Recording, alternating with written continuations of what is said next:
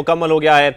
अब आपको मनाजिर भी दिखा रहे थे, जिसमें हम देख रहे थे कि दोनों जानब जो लॉबीज थी वहाँ पर तमाम अरकान पहुँचे, उन्होंने अपने वोट का इंदराज करवाया, दस्तखत किए, और ऐसे में अब यह खबर आ रही है कि वजी अजम के इंतब का जो अमल है, जो वोटिंग का अमल है, वो मुकम्मल हो गया बिल्कुल, वोटिंग का अमल मुकम्मल हो चुका है। यूसुफ रजा गिलानी, बिलावल भुट्टो, एजाज जाकरानी राना तनवीर, डॉक्टर तारिक फजल, नवाज़ शरीफ, आसिफ अली जरदारी, यता तारड़ इसके अलावा दीगर जो अरकान हैं, जो कि शहबाज शरीफ को सपोर्ट कर रहे उन्होंने अपना वोट कास्ट किया। लॉबी में आके जबकि उमर अयूब को सपोर्ट करने वालों ने अपना वोट के इंदराज किया, लॉबी बी में जाके। कौमी असम्बली का इजलास, इस वक्त स्पीकर अयाज सादी की जेर सदारत जारी है। वोटिंग का अमल मुकम्मल हो चुका है, अब वोट गिरे जाएँगे और उसके बाद होगा इंतखाब के कौन बनेगा नया कायदे एवान किसके नाम कुर्रा निकलेगा, अब से कुछ देर बाद पता चल जाएगा। एक सौ उनहत्तर का वो मैजिकल फिगर है जो कि हासिल करना है उमर अयूब को, या फिर शहबाज शरीफ को, मुस्लिम नून को या हम ये कहें कि शहबाज शरीफ को जो पार्टीज़ सपोर्ट कर रही है, उसमें पीपल्स पार्टी है। इसके अलावा एम के एम पाकिस्तान है, बलोचिस्तान अवामी पार्टी है आई है और मुस्लिम लीग काफ के अलावा दीगर जमातें भी हैं, जबकि सुन्नी इतिहाद काउंसिल के जो मेबरान है जिसमें शमूलियत इख्तियार की पीटीआई के मेबरान ने आ, उनकी तरफ़ से उमर अयूब को नामजद किया गया। नब्बे से बानवे का फिगर जो है वो हासिल कर सकते हैं। लेकिन ये अभी सिर्फ़ अंदाजे हैं। आ, असल फिगर कौन कितना हासिल कर पाया है ये जब वोटों की गिनती मुकम्मल होगी तो पता चलेगा। वोटिंग का अमल मुकम्मल हो चुका है जिसके लिए हमने देखा कि ईवान में दो लॉबियाँ मुख्त की गई। लॉबी ए में वो लोग आए वोट कास्ट करने के लिए वोट का इंदराज करने के लिए जिन्होंने शहबाज शरीफ के लिए वोट इंदराज किया।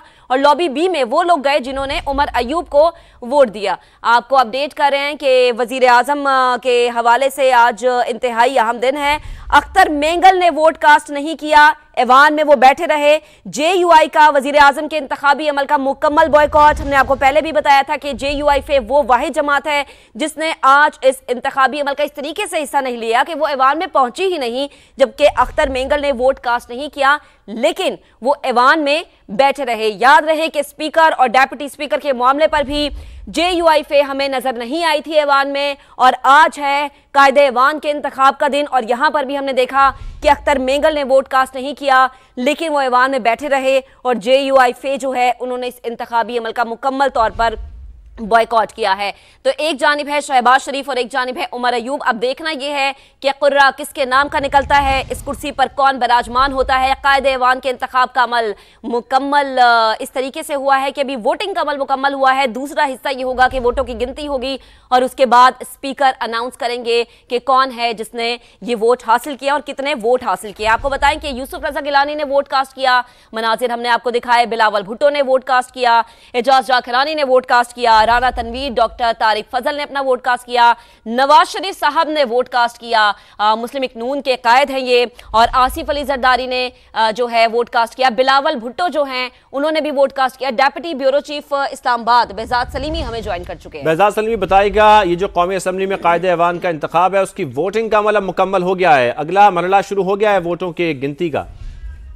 जी, नए कायदे ऐवान के इंतखाब का अमल जो है वो जारी है, वोटिंग का अमल मुकम्मल हो चुका है और इस वक्त गिनती जारी है स्पीकर अयाज सादत के सामने जो कौमी असम्बली के सेक्रेटरी जनरल और दीगर जो अमला है, इस वक्त वोटों की गिनती कर रहे हैं। जैसा कि आज वोटिंग का अमल डिवीज़न के तरीकाकार के तहत हुआ और दोनों जो उम्मीदवार हैं, उनके लिए अलग अलग जो है वो लाबी मुख्त की गई। शहबाज शरीफ के जो वोटर्स थे, उन्होंने लाबी ए में जाकर उनको वोट कास्ट किया, जबकि उमर अयूब, जो कि सुनी हाथ काउंसिल के उम्मीदवार हैं, उन्होंने लाबी बी में जाकर उनके वोटर्स ने वोट कास्ट किया। तो ये वोटिंग का अमल मुकम्मल हो गया, जिसमें जवान में मौजूद तमाम अरकान ने हिस्सा लिया। लेकिन मैं यहाँ आपको ये बताता चलूँ कि अख्तर मैंगल की जानब से किसी भी उम्मीदवार के हक में वोट नहीं दिया गया। इस वक्त जबकि तमाम वो, वोटर्स जो हैं, वो अपने अपने हामी उम्मीदवारों की जो लाबीज में मौजूद हैं, अख्तर मैंगल इस वक्त अकेले ईवान में मौजूद हैं। उनको सुनीत हाथ काउंसिल की रहनुमाओं की जानब से कायल करने की कोशिश की गई कि वो उनके उम्मीदवार को वोट दें, लेकिन अख्तर मैंगल जो है वो इस वक्त अपोजिशन बेंचों पर जो मौजूद हैं, और उन्होंने किसी भी उम्मीदवार को वोट नहीं दिया। ना तो उन्होंने शहबाज शरीफ को वोट दिया है और ना ही उमर अयूब को वोट दिया है। और जे यू आई फे के जानब से भी हम्म। आज हम्म। इस वज़ीर आज़म के इंतज़ाम के अमल का बाईकाट किया गया और उनके अरकान जो है ईवान में अच्छा बेजाद साहब ये बताएँ 336 रुकनी रुक, रुकन का जो है वो ऐवान है ये आज कितने जो है यहाँ पर अरकान मौजूद थे जी बुनियादी तौर पर जैसे